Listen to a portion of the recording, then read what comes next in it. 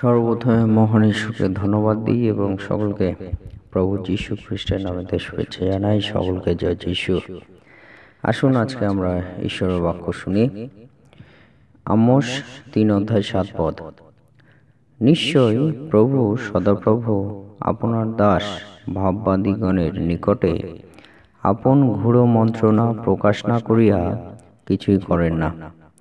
ঈশ্বর তা আপন বাক্যে আমাদের প্রত্যেকে আশীর্বাদ করুন। আমেন। হে আমাদের প্রভু, সদাপ্রভু, তোমার নামে আরেকটি বার এই সুন্দর সকালবেলা ধন্যবাদ দিই। তোমার গৌরব দিই প্রভু, আমাদের হৃদয় মন দিয়ে। প্রার্থনা করি প্রভু, আমাদের সকল চিন্তাভাবনা সকল তোমার হস্তে দিই। তুমি আমাদের জীবনকে পরিচালনা করো তোমার পবিত্র আত্মা দ্বারা এবং তোমার অনুগ্রহ দ্বারা। এই দিনে আমাদের সমস্ত কাজকর্মের ভার তোমার হস্তে দিই প্রভু।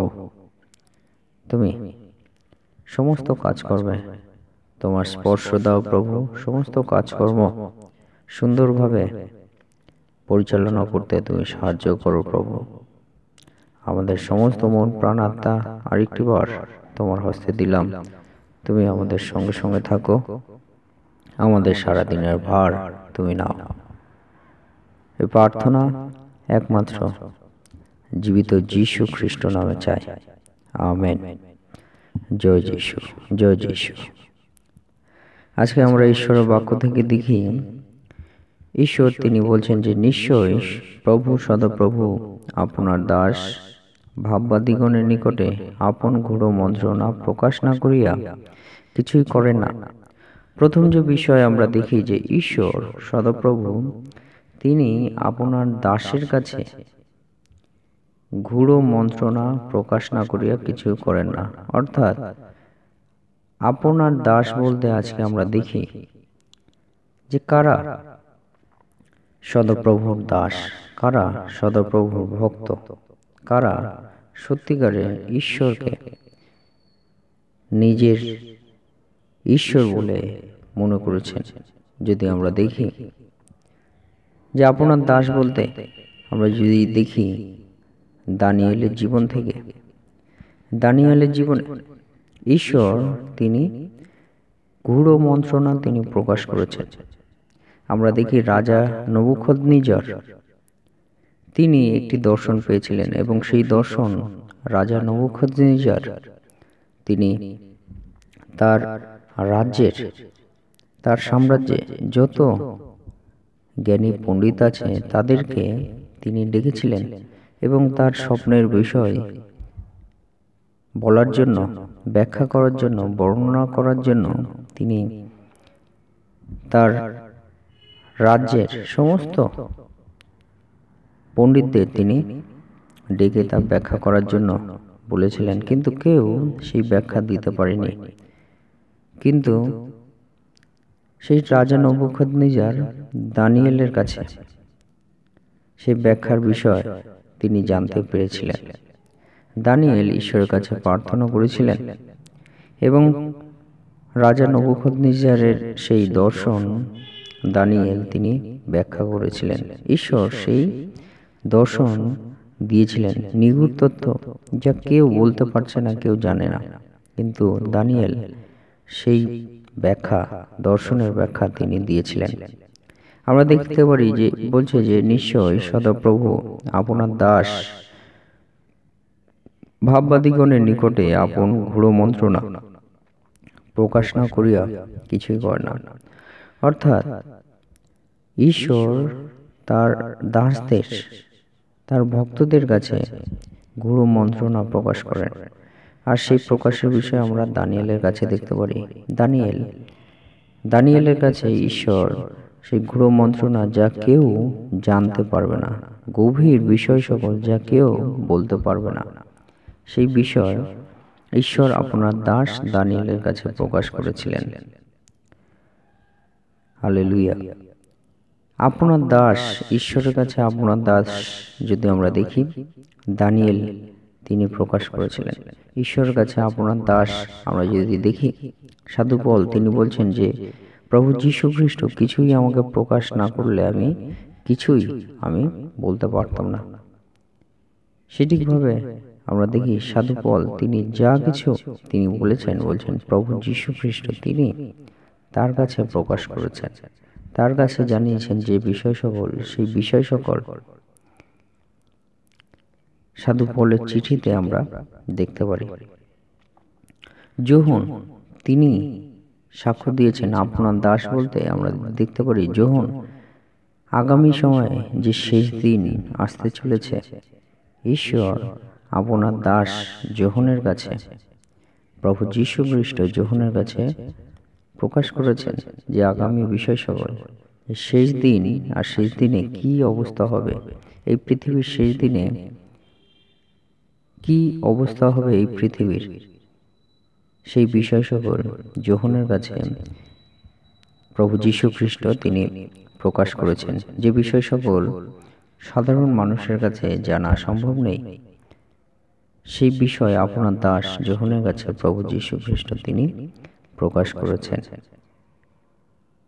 সেটিভাবে আজকে আমরা দেখতে পারি ঈশ্বর সদাপ্রভু আপনার দাসের কাছে গুরু মন্ত্রণা প্রকাশ করেন। আজকের দিনে দানিয়েল শুধু নয় পোল শুধু নয় বা যোহন শুধু নয় কিন্তু যারা ঈশ্বরের দাস যারা ঈশ্বরকে প্রভু হিসেবে স্বীকার করেছে। দর্শনের মাধ্যমে প্রত্যেকের কাছে ঈশ্বর আমাদের কাছে প্রত্যেকের কাছে আমার আপনার প্রত্যেকের কাছে যারা সদপ্রভুকে ঈশ্বরকে প্রভু যিশু নামেতে ঈশ্বর হিসেবে স্বীকার করেছে। প্রত্যেকের কাছে ঈশ্বর দর্শনের মধ্য দিয়ে তিনি ঘুরো মন্ত্রণা যা সাধারণ মানুষ জানতে পারে না। সেই বিষয় সকল ঈশ্বর আপনার কাছে আমার কাছে আপনাদের প্রত্যেকের কাছে। ঈশ্বর ঘুরো বিষয় সকল গভীর বিষয় সকল যা কেউ জানতে পারবে না সেই বিষয় প্রকাশ করার জন্য প্রস্তুত আছেন। যদি আমরা সত্য এবং হৃদয় দিয়ে সত্য এবং আত্মা দিয়ে আমাদের ঈশ্বরকে আমরা ভজনা করি প্রেম করি উপাসনা করি তার আরাধনা করি তার স্তব করি তার বিনতি করি। তাহলে ঈশ্বর, তিনি আমাদের কাছে। আমাদের কাছে তার গভীর বিষয় সকল প্রকাশ তিনি করবেন। এবং সেই প্রকাশ না করা পর্যন্ত তিনি কিছু তিনি করবেন না। আমরা ঈশ্বরের বাক্য দেখে জানি, সেই গ্রহ মন্ত্রণা কেমন হয়? সেই গভীর মন্ত্রণা ঈশ্বর যে প্রকাশ করেন, সেই মন্ত্রণা কেমন, যা কখনো জানা যায় না। এবং সেই মন্ত্রণা সেই গভীর বিষয় সকল ঈশ্বর কেন জানায় আমাদেরকে যা আমাদেরকে সাবধান করে যা আমাদেরকে আগামী বিষয়ে সাবধান করে যা আমাদেরকে আগামী বিষয়ে সচেতন করে। ঈশ্বর সেই ঘুরো মন্ত্রণা গভীর বিষয় সকল আপনার দাসদের কাছে তিনি প্রকাশ করেন এবং যা আমাদের ভালোর জন্য ঘুরো মন্ত্রণা যা আমাদের ভালোর জন্য ঈশ্বর আগে থেকে আমাদেরকে সাবধান করেন সচেতন করে দেন। যাতে আমরা সেই ঘুরো মন্ত্রণার বিষয় সকল আমরা জেনে আমরা সাবধান হই সচেতন হই যা আমাদের ভালোর জন্য। এবং তৃতীয় যে বিষয় ঈশ্বর এই প্রকাশ না করা পর্যন্ত তিনি কিছু করেন না। ঈশ্বর অর্থাৎ কিছু করার আগেই তিনি তার সন্তানদের কাছে সমস্ত বিষয় সকল তিনি প্রকাশ করেন। সেটিভাবে আজকে আপনাদেরকে উৎসাহিত করতে চাই নিশ্চয়ই প্রভু সদপ্রভু আপনার দাস। আপনার দাসের কাছে গুরু মন্ত্রণা সকল প্রকাশ না করিয়া কিছুই করেন না। সত্যি কি আমরা ঈশ্বর সদপ্রভু? আমরা আপনার দাস হতে চাই। যদি তাই হয় ঈশ্বর আপনার কাছে তার ঘুরো মন্ত্রণা সকল গভীর বিষয় সকল প্রকাশ করার জন্য প্রস্তুত আছেন।